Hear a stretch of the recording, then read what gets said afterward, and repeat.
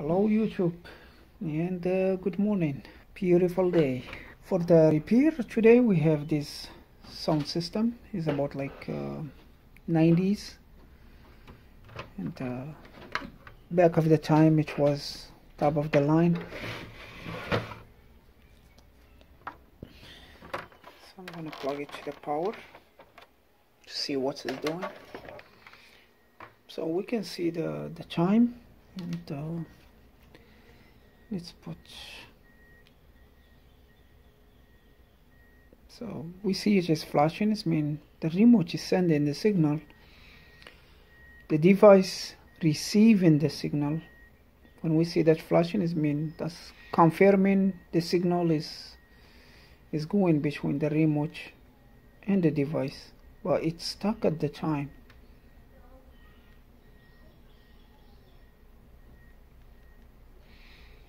This is what the customer told me on the phone about this device. He said he took it to another uh, local sound system repair. The device is stay over there for like a week or so and he can't fix he, I think he did say one of my YouTube videos and he want to try me to see if I can uh, fix this device for him.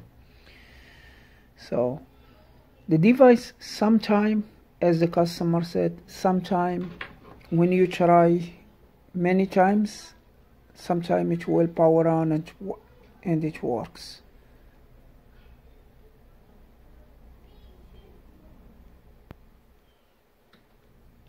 You can see how many time I try. Nothing. So let's take the device apart and look at it inside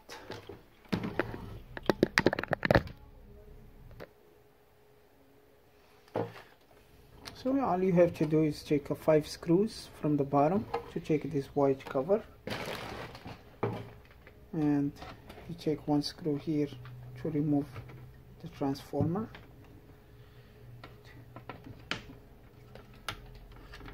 And unplug this two speaker wires. This one's here so just flip it a little bit. Because I don't need this uh, speaker at the moment. So let me just unscrew this.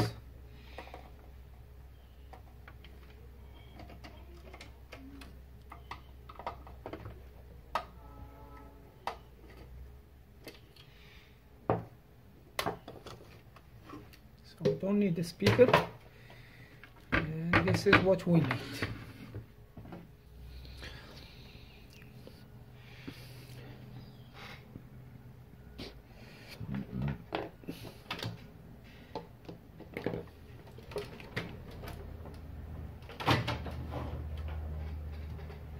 So this is the device inside. And I found this cable here. This plastic is like uh, from this flex cable. So we can't test the the unit without the CD let me show you what it's doing. If we test it without the CD it's gonna it's gonna give us eject. Because it's not detecting the, the disk. So we're gonna need the CD for it for us to start this it so for me to start this so let's plug this one.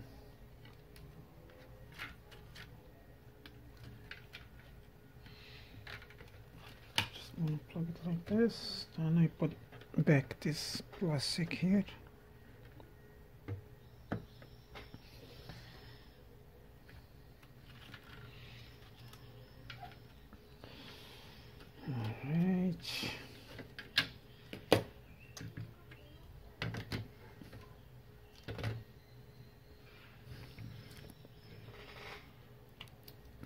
So what we are going to fix here, we're going to fix the power, the specific problem.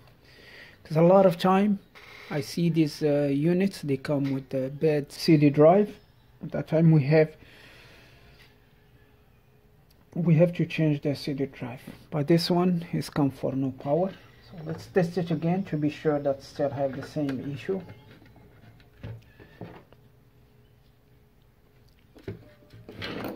You can see the time over there. I pushed power button and you can see it flash and back to the time. Back to the time. Try three times at least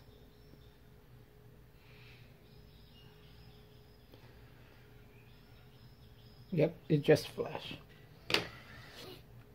and from what the customer said he said sometimes he try it too many times the device is going to turn on. And that's telling us there is something is going to need to charge or to get warm to work. So let's go with the first option something get need to charge first. And we know what is what need to be charged is the capacitor. If the capacitor if the capacitor get in bed it will take a long time to get charged and the device is not going to respond as it should. As you see here there is a lot of these silver capacitors. You see them all over here. So for us to start uh, checking what we're gonna do we're gonna need the solder iron. So the solder iron is hot like putting it on the side of the capacitors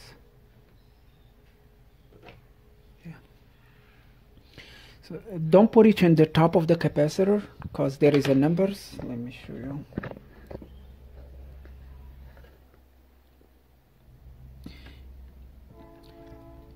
Yeah, you can see the numbers on the top of the capacitor and you need that numbers. If you put the solder iron in the top of it, that numbers is going to be gone and you are not going to know the capacitance and the voltage. Yeah, we're going to test one by one till we find which one is. So now,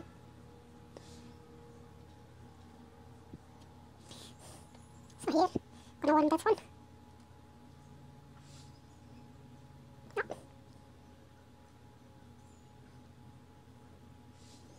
No. And we keep going like this till with this all of them.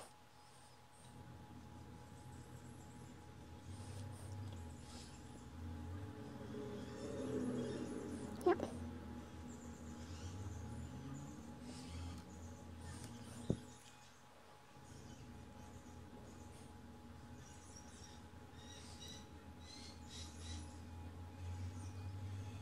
Yep.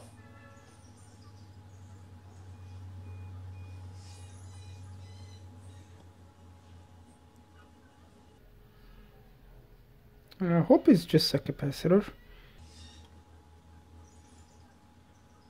Because this board is, is kind of a little bit expensive. It's about like over a hundred dollar to replace it. If it is the processor is getting bad.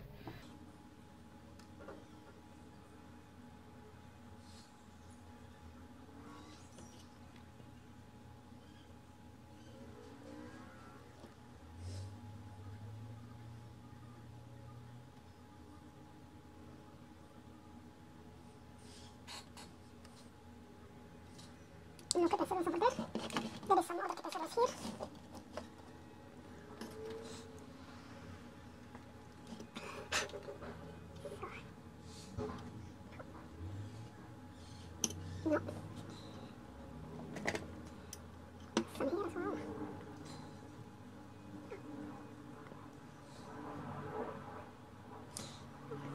A lot of time this way, I use it to find which capacitor is bad. Besides, you keep removing one, one by one and test it.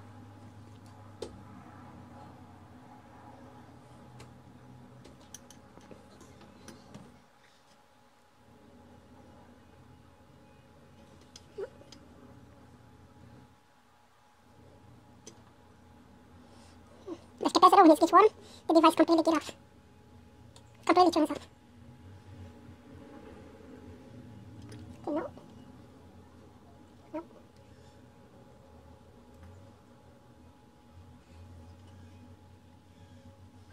So, this one here, the big filter capacitor. So I test all the capacitors in this board uh, no change so let's start in this board. So I test all the capacitors in this board. Uh, no change. So let's start in this board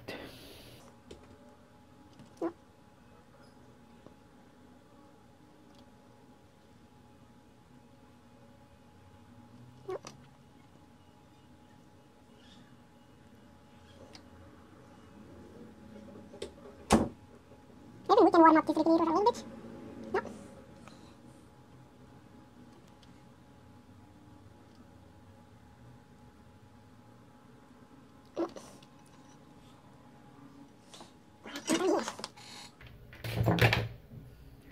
Let's test again still doing the same thing let's look under this uh, this shelf see if we have any capacitors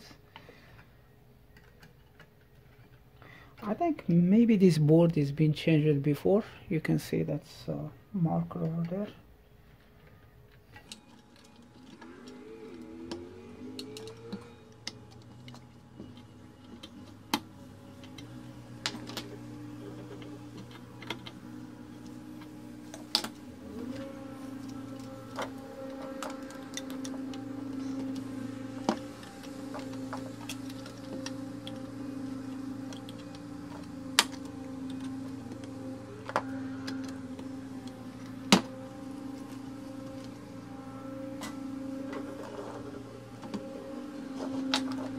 Yeah, you can see here there's some other capacitors. Make sure doing the same thing. Yep, still doing the same thing. So let's test these capacitors, get them a little bit warm.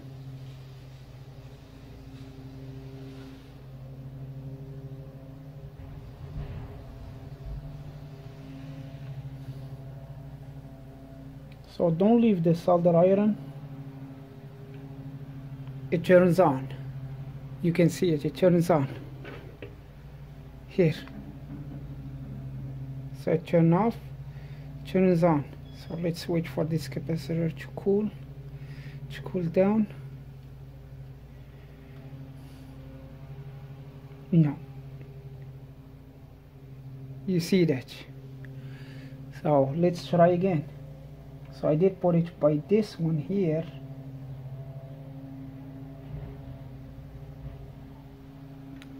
on Okay, I'm gonna wait for that one to see if any other ones is bad. So the capacitor warm, it's still gonna turn on. So now it's it's cool. So let me try. So we know that's one is gonna need to be changed. And be careful when you put the solder iron like this to warm this one, you may warm the other one as well, and you're gonna get uh, confused which one is. So try to keep the solder iron far from the other capacitor. So you just gonna test one.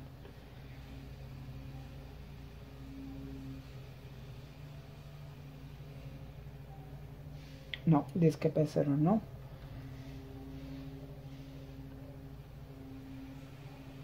This one no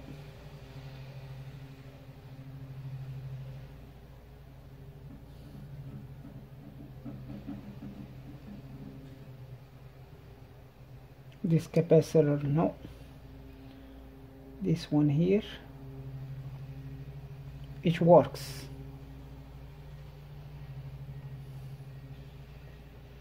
So let me let me get it down because it's still warm.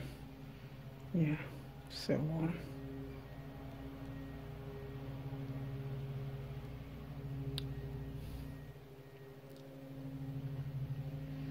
I want to know if this the two capacitor is bad or just one?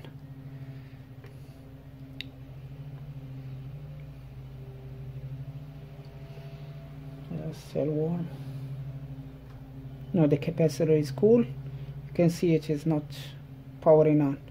So I'm just going to test just this one.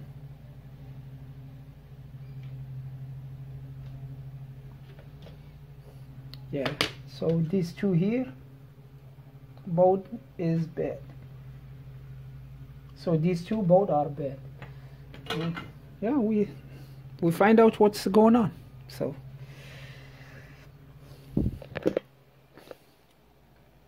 This capacitor here is uh, you can see that 22 we don't look at the first one that s1 this a company uh,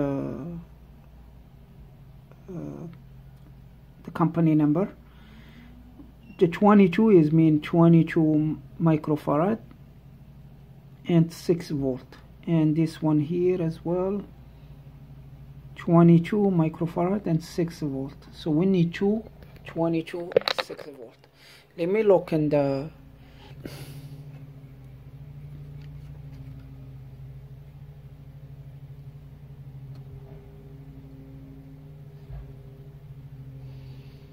I have this ones here is a 22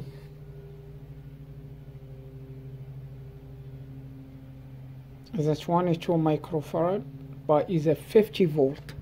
Still gonna work. This one as well 22 so let's check these ones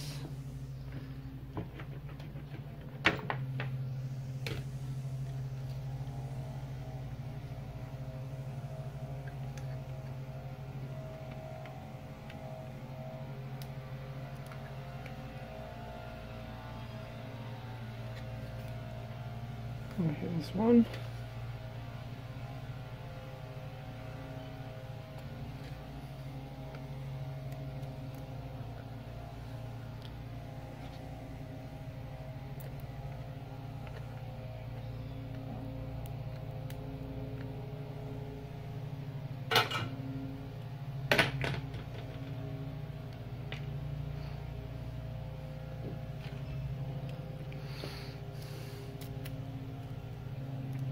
yeah another thing that uh, to be sure is not like some voltage is going from the solder iron to the capacitor that's causing the, the board to wake up.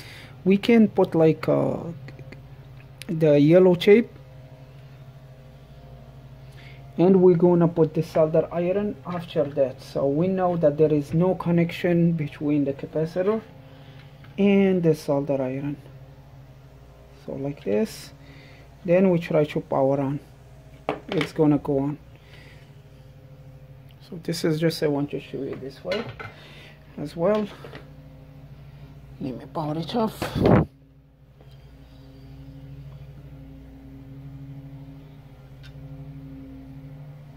Yeah that is not that high. Yeah it's good if, can, if I can't put it like this it's gonna be good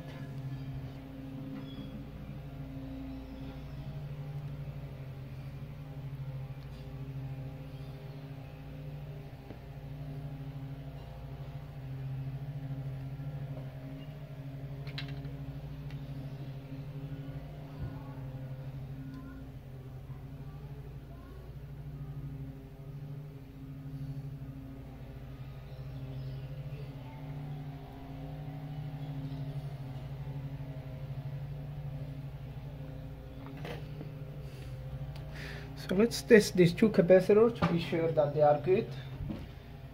We're not going to try to replace uh,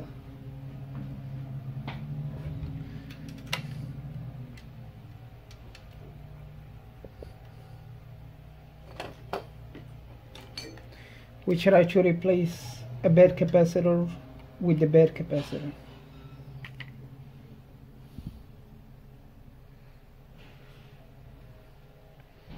So it's a 21 microfarad, is good. The ESR is a 0 ohm, that's great. So there is no voltage leakage in this uh, capacitor. So let's try the second one.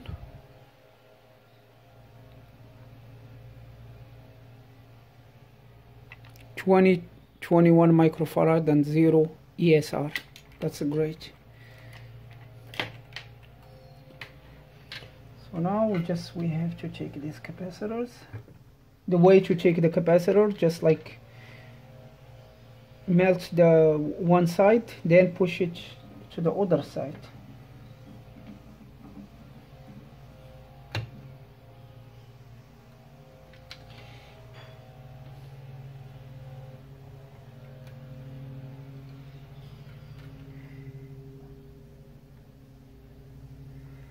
So here is one capacitor.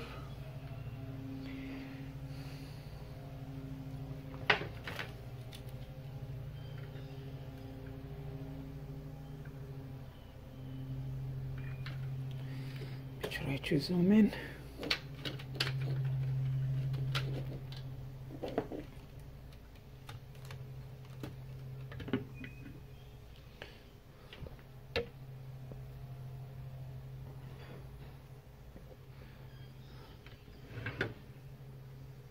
so I already removed this capacitor. The one was here. The second one is here. So let's put a new solder that's going to help to melt quick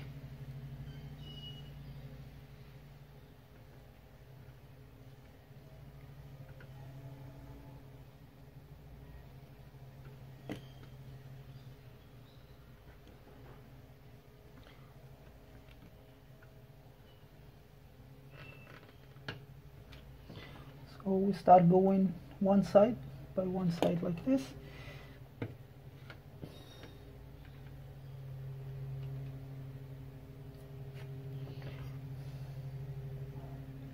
So we don't damage the traces. Yep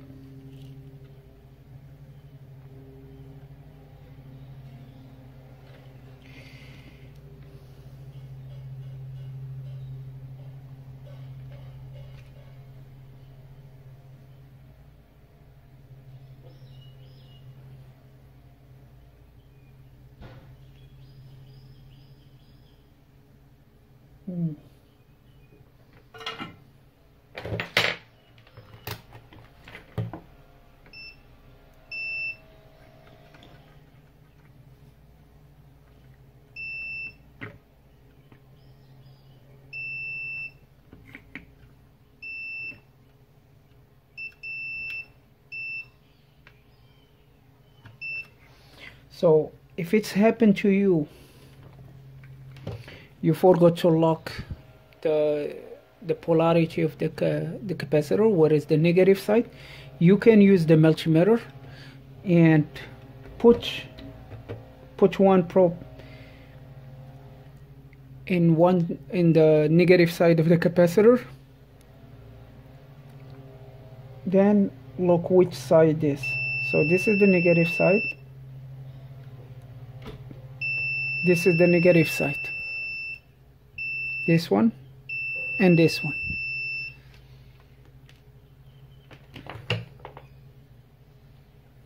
So this one is going to be like this.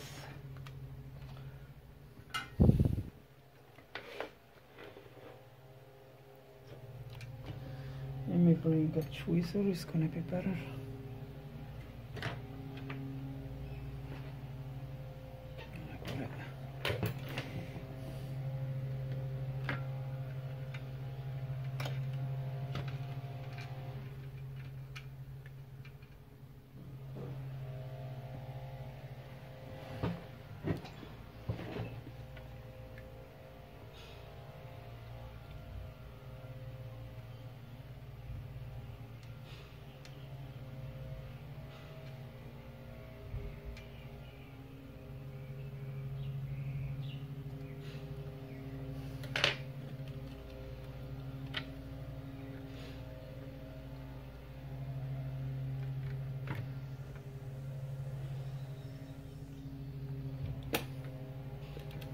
So here is the first capacitor.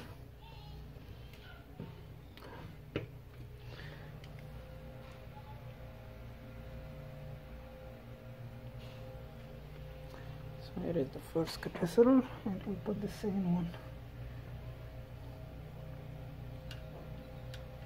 See if we can put it here.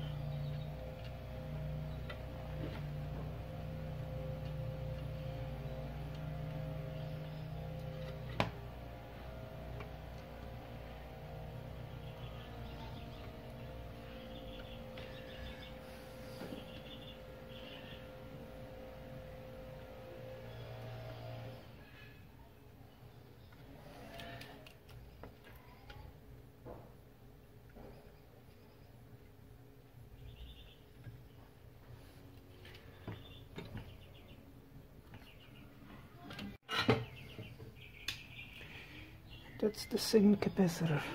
So we wait for it to. Don't want to test the capacitor when it's hot.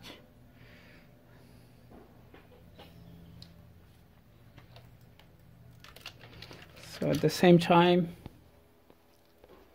I'm going to test the capacitor that I I removed just to see the ESR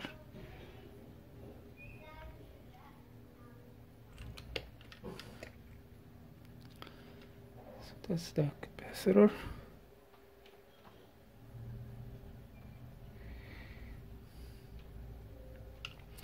here the you can see the capacitor you can see the the capacitance of the capacitor is still good. Is a 23 microfarad. But look the ESR the ESR ESR is a 0.1 kilo ohm. That's a hundred ohm so this this one is leaking the the voltages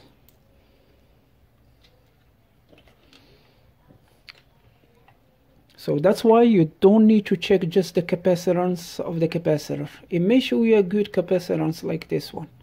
Is a 23 microfarad and that capacitor is a 22 microfarad. But you need to check the ESR as well.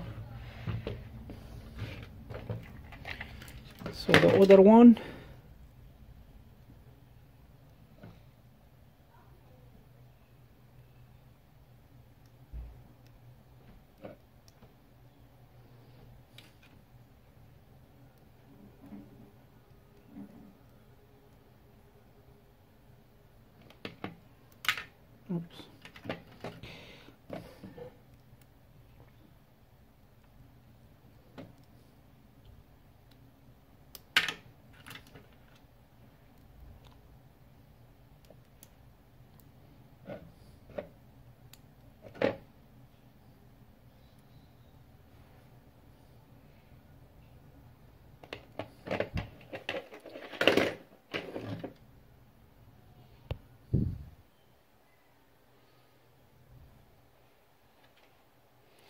so this one is a 21 microfarad.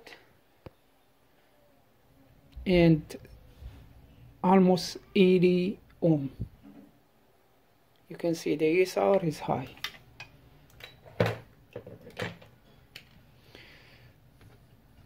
It should be good. Let's test it.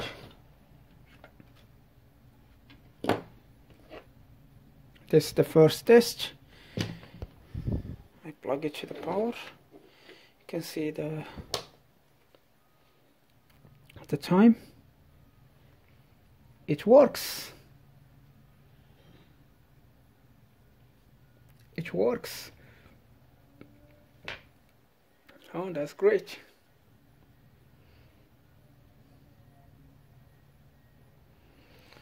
Let me unplug it again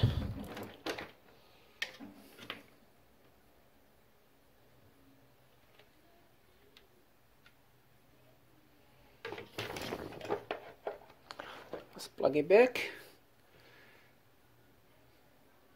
and it works.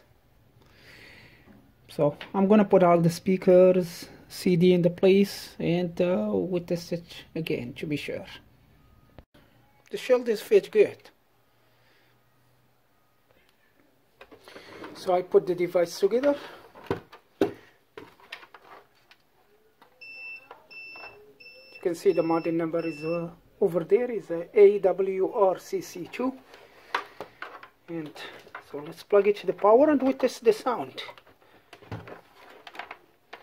can see the chime here. Gonna push the power button. It turns on right away. We have a sound. Let me test other button. Yep the volume work. Here is other inputs. CD no disc radio. So yeah this is how I uh, how you check the capacitor in the board. If you want to ship anything for uh, repair you have my phone number and address on the YouTube. So this is all for this video. Thank you for watching. See you next one